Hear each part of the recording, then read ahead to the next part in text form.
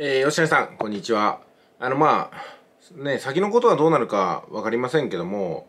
まあ、やっぱり分かろうとすることと、あと、いくつか仮説を立てておくことかな。リスクヘッジをしておくとかね。一言で言うと、どっちに転んでも大丈夫なようにしておくってことが、まあ、仕事なんじゃないかなと思うんですよ。ね、こっちで契約が取れなくても、こっちで契約を取っていくとかね。仮に全部の契約が取れなくても、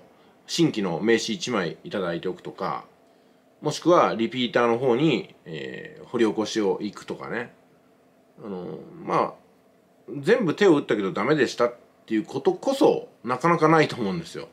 何もかも手を打ったんだけど全部想定外でしたとかね。想定外ってことはどういうことかっていうと、想定の能力がなかったっていうことですから、お手上げ宣言なんですよね、どっちかって言ったら。あの、天変地異なことが起きて、想定外でしたっていうのとわけが違うんで、そのくらい想定しておけよみたいなね話だと思うんですよ。で結果的にどう転んでも大丈夫なようにしておく。ね好きな女の子に告白する。振られたら一緒に飲んで忘れられるような友達を用意しておくとかね。うんなんかそんなこともあると思いますしあのなんかね商品買いに行く時にこっちの商品がなかったらこっちの商品で我慢するとかねそんなこともあると思いますしね。あのまあ居酒屋に行っても壺八がいっぱいで入れませんって言ったら、うん、別にね白木屋行くでしょ。そんな感じじゃないですかね。だからこれ1って言って絶対にこれは落とせないぞっていう風な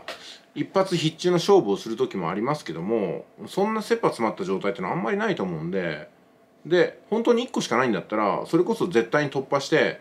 当たって砕けてねそれでダメだったらもうね首くるぐらいのうんなんか肝の座り方しとかないといけないんじゃないかなと思うんですよ。うん、やっぱりねあの覚悟が足りてないのとリスクヘッジどっちに転んでも大丈夫なようにしておくっていう風なしたたかさが足りてないっていうところこれ同時に起きてるんじゃないかなと思うんですよね。まあ私はそういう風に思うんですけどね。いってらっしゃい。